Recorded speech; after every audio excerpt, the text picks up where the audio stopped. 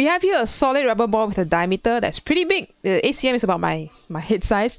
It's released from rest from the top, 80 cm, falls down and then bounce back up so that the maximum height is about 45 cm as shown. So, if the kinetic energy of the ball just before it hits the surface is 0.75 joules, what's the KE just after it leaves the surface? So that's a lot of things to process. I'm gonna I'm gonna redraw this. So the ball is at first up here, drops down, hits the surface. Uh, something like that. And we do know that the, at this point there is no more GPE if we choose the ground as our reference. All the energy has been converted to kinetic energy, which is 0.75 joules. In the beginning, there is no kinetic energy. It's up here. How we know? Release from rest. So Ke is zero when it's up there. So what is the energy there? Everything is stored as GPE. Because you are high up. Okay, so when think objects are very high up, there's a very high GPE.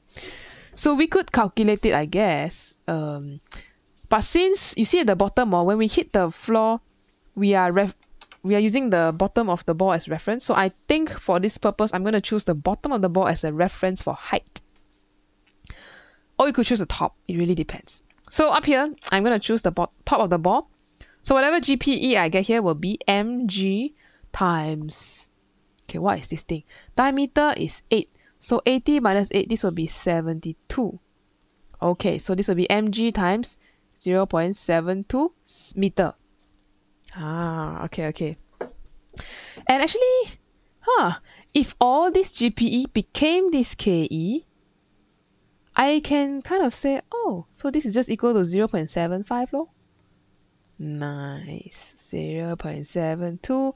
And I can find a very important unknown, which is the mass of the ball. Or I could just say mg the weight of the ball. Okay lah, we stick to mg. mg is the weight. 0.75 over 0.72. This will give me 1.0417. I'm going to keep many decimal because we might use this later. Okay, so this is before. Total energy before, including both GPE and KE, is going to be 0.75. So you exchange, ah, GPE become KE, KE become GPE. After, so total energy after is, we draw again. After you bing bang boom hit the floor already, the ball is more than ready to go up with a some final KE. I'm calling this initial and final. We don't know this. But we do know it go up, up, up, up, up, up, up, up. Everything convert to GPE now. It's not moving anymore. No more KE. But you will have at this height some GPE. Can we calculate it? I think we can. So this will be mg and if I choose the bottom of the ball as reference, uh, this is what, 45, right? 45 minus 8, 37, 37 uh, cm high. So this will be mg times 0 0.37. But wait, we can calculate it because just now we found the mg here. So I can just multiply lah. Can. 1.0417 times 0.37. What will I get? 1.0417. Yeah, I get roughly 38.5. Eh, I'm missing decimal. What am I writing? 0 0.385. Okay, there we go. Joules of energy.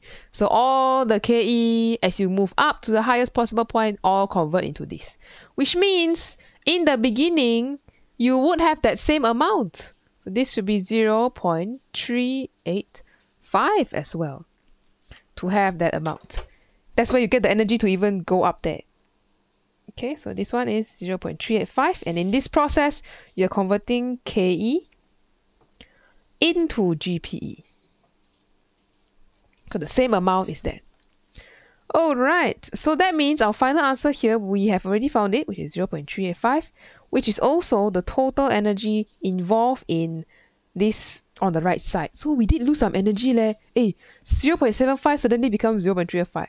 Something is lost here when they collide. Some energy was lost as heat, sound, boom, the sound, wow, the thing become hot, I don't know lah. Okay, and on the left side, oh, should complete the diagram. GPE is being converted into KE as the ball falls from high to low. So finally, we have our answer, and the answer here will be 0.39, which is the best choice here for our total energy. Okay, so wow, this you need to digest it, try it again, uh, think very carefully of how we know what to find. But that's all for this video. I'll see you in the next one.